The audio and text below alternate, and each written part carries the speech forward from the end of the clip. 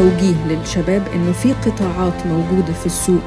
لو كنت ليك الأسبقية في الاستثمار فيها بيكون ليك التميز.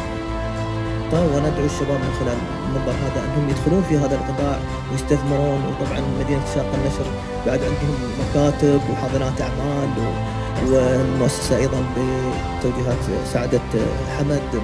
فيها فرص قوية.